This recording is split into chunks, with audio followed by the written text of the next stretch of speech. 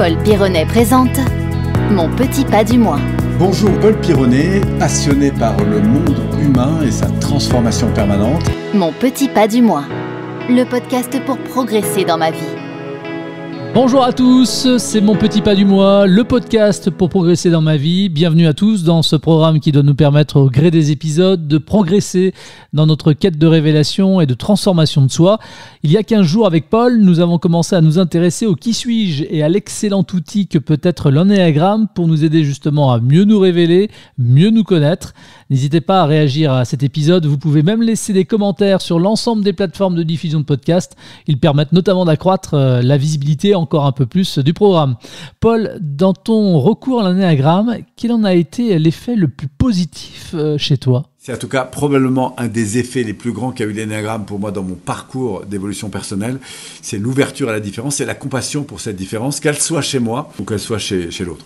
Ouais, ça c'est important ce que tu dis là euh, chez l'autre, parce que à moins d'être comme Tom Hanks sur une île échouée seul, sur une île perdue dans seul monde, nous vivons dans un monde d'interaction euh, L'anéagramme est donc utile aussi pour savoir qui euh, nous sommes, mais pour savoir aussi à qui nous avons affaire en face de nous dans nos échanges avec les autres. Une fois qu'on a fini finalement à se cartographier, que l'on connaît son profil, ça ou ses personnalités dominantes, ça va nous aider aussi à savoir avec qui on échange. Absolument. Alors, moi, je dis que les deux sont vrais parce que notre type qui est seul au monde là sur son île, la réalité, c'est que quand il discute avec lui, si on regarde le film, il y a plein de polarités qui vont à un moment donné se manifester.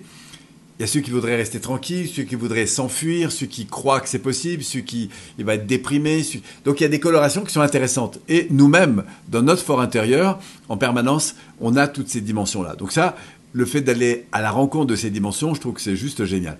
Ensuite, effectivement, c'est grâce à l'interaction qu'on a avec les autres qu'on grandit. Et quand on, aborde mieux ces différences, ben, c'est clair qu'on a développé une conscience plus fine des choses, une sensibilité plus aiguisée, et aussi, j'allais dire, une multitude de consciences, de comportements possibles en fait.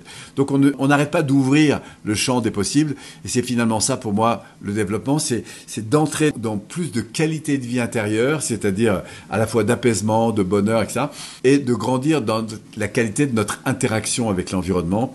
Et je crois que l'énéagramme, pour ça, c'est vraiment une voie superbe. En tout cas, moi, ça m'a énormément aidé. Et pour les, centaines, peut-être même les milliers de personnes que je connaisse qui ont approché l'énéagramme, que ce soit par nous ou, dans d'autres voies, et qui l'ont un petit peu approfondi, n'ont jamais regretté d'être euh, entrés dans ce modèle, en tout cas. Et, c'est quoi les champs d'application de l'énéagramme? Vie perso, vie pro, euh, dans tout finalement? Alors pour moi, de toute façon, tout commence par la vie perso, puisque que ce soit dans le pro, on est d'abord euh, en relation avec soi. Après, on a relation avec les autres. Euh, évidemment, dans le couple, par exemple, dès qu'il y a de l'émotion, les enfants, la famille. Après, on l'est socialement euh, dans, dans, la vie. Et puis, bien sûr, au niveau professionnel, parce que professionnellement, ben, on a des gens avec qui ça va coller, des gens avec qui ça va moins coller. Et c'est là que l'énéagramme aussi a un rôle très important. Donc là, on est plus dans moi, dans ma relation au monde. Et puis, au-delà de ça, je peux être ensuite un professionnel, euh, je sais pas moi, un enseignant, un manager, pourquoi pas un médecin, etc. Et j'ai envie de mettre un peu plus de qualité dans mon interaction plus professionnelle entre guillemets. Tu vois que ce soit avec mes clients, mes salariés, euh, mes équipes, mes fournisseurs, etc. Et puis enfin, je peux pousser encore plus loin, où là, au-delà de ma vie professionnelle, je suis réellement dans une activité d'accompagnant, tu vois. Je suis un éducateur, un coach, un formateur, un thérapeute, et là, je vais évidemment enrichir beaucoup mes interventions. Je pense par exemple à la PNL, comme je pourrais être formé à la T. Et quelle que soit la, dynamique dans laquelle j'accompagne, que je sois en soins énergétiques, que je sois en, créativité, en danse-thérapie, en, enseignement de ceci ou de cela, eh bien, je trouve qu'il y a dans l'énéagramme, eh bien, autant à se révéler soi-même qu'à se révéler dans l'interaction aux autres et bien sûr après dans la qualité des accompagnements qu'on pourrait avoir avec d'autres. Je parlais hier de, coaching, donc euh, je, peux utiliser un coaching sans parler d'énéagramme, mais, m'appuyer sur le coaching pour accompagner une personne. Je peux aussi prendre des parties de l'énéagramme pour, euh, sur un bout de papier, expliquer ce qui est en train de se jouer, ou je peux, pourquoi pas, faire un atelier autour de l'énéagramme pour sensibiliser une ou plusieurs personnes à certaines choses, et pourquoi pas former des gens avec l'outil énéagramme. Donc, euh, tu vois, il y, a plusieurs, après, axes possibles en fonction de la maîtrise de l'outil. Donc, en fonction de la maîtrise de l'outil, effectivement, on va apprendre à, connaître finalement euh, qui nous sommes, à mieux nous connaître. Mais en quoi l'énéagramme aussi va vraiment pouvoir nous aider à nous transformer? Parce que c'est aussi le but de cet outil. C'est en ça qu'il est formidable. C'est que non seulement il révèle qui nous sommes, mais en plus il va nous permettre d'évoluer. Absolument. Alors ça, c'est une question qui est pour moi essentielle. Comment se transformer? Je crois qu'il n'y a pas de transformation sans véritable relation. Et dit autrement, amour. C'est-à-dire que si je veux me transformer ou aider une personne à se transformer, il faut d'abord que j'apprenne à l'aimer dans ce qu'elle est. Dit autrement, si moi j'ai une difficulté parce que je me sens un peu agité, il faut d'abord que je reconnaisse qu'à un moment donné, dans ma vie, dans certains contextes, j'ai cette agitation qui monte, en quelque sorte. Et là, de repérer ce qui se joue, notamment dans mon insécurité intérieure. Si je suis en conflit régulier avec des personnes, si ça se répète, c'est que je fais partie un petit peu du problème, en quelque sorte. Et la première chose à faire, c'est pas de se culpabiliser, c'est de se responsabiliser. Et là, en ce sens, l'énagramme peut m'aider justement à voir qu'est-ce qui se joue intérieurement et qui m'entraîne dans ce schéma répétitif pour le corriger. Et la première chose que va m'aider l'énagramme, et c'est pour ça que dans l'énagramme, il y a un moment donné, on voit des, il y a des dessins qui représentent les voies de désintégration. Et si on inverse le dessin, on a des droites avec des flèches, on va dans le sens de l'intégration. Et l'énagramme met toujours en avant la voie de désintégration. Pourquoi? On aurait pu se dire, mais pourquoi il ne met pas directement la voie d'intégration puisque c'est l'inverse? Eh bien non, pourquoi? Parce que on va dire que symboliquement, l'idée c'est d'aller à la rencontre de ces zones d'ombre, d'apprendre à les accueillir, les connaître, les aimer, pour ensuite les transformer. Et moi, que ce soit vis-à-vis de moi ou des personnes que j'accompagne, ce que je me suis rendu compte, c'est à quel point l'énéagramme m'a renforcé dans cette philosophie, qui est commencée par reconnaître. Si par exemple j'aide une personne qui, qui est insécurité ou dans un schéma de croyance limitant, la première chose que je vais faire, c'est pas de l'accuser en lui disant Ah, ben là, tu es enfermé dans un truc. C'est Tiens, qu'est-ce qui se passe pour toi? Comment tu vis ça? Qu'est-ce qui t'a amené à ça? Et en l'écoutant du coup de découvrir parce que j'ai le schéma de l'énéagramme qui va me mais vraiment comme une cartographie comme une carte Michelin. Elle est en train de me dire bah, je suis là. Et du coup je, vois par quel processus évidemment l'emmener parce que je, vois la route à suivre. Et du coup je vais l'aider à découvrir ce processus là parce que l'énéagramme va, va m'indiquer de manière assez précise qu'est-ce qui se joue et surtout qu'est-ce qui va permettre de la libérer. Je reprends mon exemple avec mon profil 1 qui est un peu exigeant avec lui-même et qui se met en stress parce que tout d'un coup il a toujours peur que les choses se passent pas comme prévu. On avait prévu un dîner à 7 et puis finalement tu arrives à 9 un peu au dernier moment et en plus en retard. Ça change mes plans, ça me met en tension, etc. Et j'ai la croyance que ça va pas bien se passer. Du coup je me mets en stress, en colère alors que la colère, même en soi, c'est pas permis pour moi de l'exprimer. Donc il y a toute une problématique qui va se mettre en place. Et amener la personne à dire, tu sais, j'observe effectivement que tu comptais beaucoup sur l'organisation prévue, que du coup ça t'insécurise, inspire, détends-toi, et on va l'amener peu à peu dans cette dimension euh, de l'intégration, à aller directement vers ce qui va, au contraire, la libérer. C'est lâche prise, c'est pas grave, on va faire autrement, et c'est cool, et etc. Tu vois et, et ça, c'est quelque chose d'intéressant parce que, quels que soient les profils, on a des colorations de partie de la personnalité qu'on a tous en nous. Et c'est ça que je trouve de chouette. Et on va être avec soi, au final, comme on va être avec l'autre. Mais pour améliorer sa communication avec les autres, il faut d'abord l'expérimenter avec soi. Et moi, je crois que c'est parce qu'on est dans une véritable démarche d'autoconsidération, d'accueil de soi-même, qu'on est d'autant plus véritablement dans l'accueil et la considération de l'autre pour, euh, pour l'aider à grandir. Donc c'est de l'introspection. L'énéagramme nous permet de trouver un point de départ. Ensuite, tu vas guider les personnes pour euh, trouver un chemin, euh, pas forcément un point d'arrivée, mais plusieurs points euh, d'étape comme ça. Et finalement, on va se retrouver, moi c'est ce que je comprends de ce que tu dis, en phase. Et c'est là qu'on va pouvoir parler de sentiment finalement d'être soi-même. Absolument. Pourquoi? Parce qu'on s'accepte davantage dans ce que nous sommes, tant dans l'expression de nos fragilités que dans l'expression de ce qui est au fond derrière nos vides, nos craintes, nos peurs, ce que j'appelle les zones d'ombre, sont des sources de lumière, c'est-à-dire ce à quoi nous aspirons vraiment. Si je prends un 7 par exemple qui est un épicurien, il aspire à profiter de la vie. Mais dans sa zone d'insécurité, il est emporté par la peur du manque, la peur de manquer. Quand il est embarqué dans cette peur de manquer, il passe dans la gloutonnerie. J'en prends de plus en plus pour en profiter de moins en moins. Et en fait, il y a tout un schéma d'insécurité psychologique qui est tout à fait identifiable.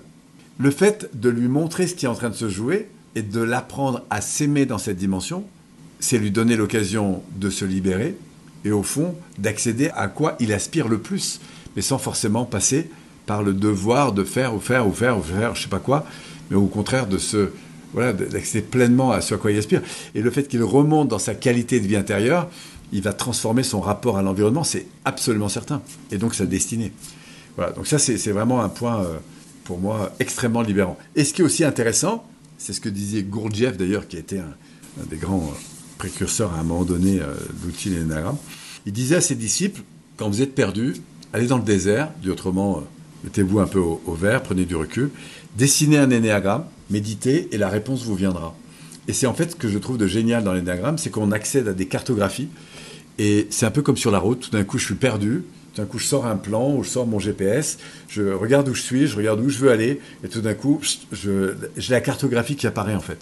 Et ça, c'est extrêmement libérateur. Et ce que je trouve de chouette avec l'énéagramme, c'est quand les gens commencent à intégrer les cartographies, eh ben, en fait, ils les ressortent euh, assez régulièrement. Elles fonctionnent parfois même un peu comme des cartes intégrées euh, dans les zones de préconscience ou d'inconscience. Et du coup, ça ouvre à des schémas euh, tout à fait différents de fonctionnement, notamment face à certaines difficultés. Et c'est comme ça que des problèmes se dissolvent, en fait. Parfois, on fait plus de la dissolution de problèmes que, que de la résolution de problèmes. Ouais. Alors, la question suivante, effectivement, et c'est pour euh, la conclusion de, cet épisode, c'est de parler des, petits pas que l'on peut faire. Alors, pour connaître son profil de personnalité, on a bien compris qu'on peut s'intéresser de près donc à l'anéagramme, mais euh, une fois qu'on commence à toucher un petit peu euh, cet outil-là, il y a les vraies questions qu'il faut se poser. Donc, quelles sont justement, au niveau des petits pas qu'on peut faire, les bonnes questions à se poser? Bah, Les premières bonnes questions à se poser, ça va dépendre un peu de là où on en est, mais moi je dis toujours, la première chose, c'est y a-t-il des choses qui dans ma vie se répètent et qui sont pour moi insatisfaisantes? Ça, c'est la première question. Dans mon couple, dans ma vie, dans ma santé, dans ma manière de manger, etc. Et y a-t-il aujourd'hui des comportements qui se répètent qui sont insatisfaisants? Et à partir de là, comment je participe à ces difficultés? Ça, c'est le premier point. La deuxième chose, c'est de prendre conscience parce que nos difficultés, c'est un peu comme le carton qu'on laisse euh, traîner à l'entrée, tu vois. Au début, ça nous dérange, mais au bout d'un moment, on s'y habitue. Donc se dire, avant de vouloir que ça change, c'est quoi la conséquence? Par exemple, je me rends compte que je mange trop vite. C'est quoi le problème que je voudrais réellement changer? Comment j'y participe? Et si je ne le change pas, quelle va être la conséquence pour moi? Tu vois? Et ça, c'est intéressant parce que tout d'un coup, je prends conscience bah, qu'il y a des petites choses qui ne sont pas assez souffrantes pour que je m'en charge et pour que les... Et ça, ça fait, ça crée ce que j'appelle des fuites dans le tuyau. C'est les petits trucs qui ne euh, sont pas assez douloureux pour que je décide vraiment de les changer. Tu vois? Qu'est-ce qui aujourd'hui n'est pas satisfaisant et se répète. Deux, si je ne change pas, où est-ce que j'arrive? Et ensuite, à partir de là, qu'est-ce que j'ai déjà réellement transformé? Ce serait ma troisième strate, tu vois. Et là, de dire, mais au fond, quand j'y repense, quel problème j'ai réellement résolu dans ma vie? Parce qu'il y a aussi des gens qui ont du mal à voir qu'ils ont du potentiel. Et de me dire, c'est quoi en moi que j'ai trouvé et qui a fait que c'est possible? Quelles sont les, ressources, les, les particularités, les sensibilités que j'ai mobilisées chez moi pour régler ou en tout cas faire avancer ce problème. Et de reconnaître aussi ses qualités. Et le fait d'avoir fait ces deux choses-là, prendre conscience qui ne va pas et des conséquences, et enfin de ce que j'ai su mobiliser pour le changer, là, ça devient intéressant d'entrer dans l'énéagramme.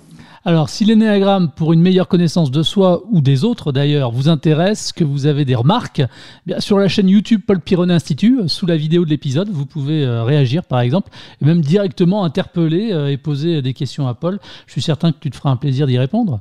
Absolument, moi ou parfois des membres de mon équipe, parce que parce qu'il y a parfois beaucoup de messages, mais mais effectivement, on, voilà. sinon, vous prenez contact avec nous. On a on a plein de ressources sur sur internet. Euh, tapez Paul Pironnet sur Google, euh, tapez Enneagram si c'est le thème qui vous intéresse. On diffuse énormément de contenu, donc c'est une très belle façon de commencer à démarrer. Vouloir progresser dans notre quête de révélation et de transformation de soi, ça passe forcément par l'introspection, mais aussi l'action.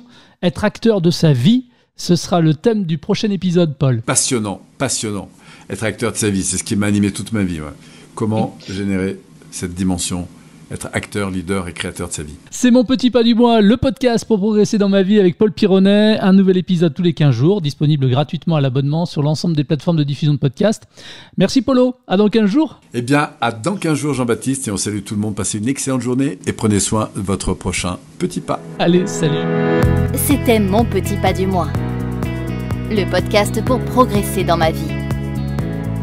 Un programme disponible sur l'ensemble des plateformes de diffusion de podcasts.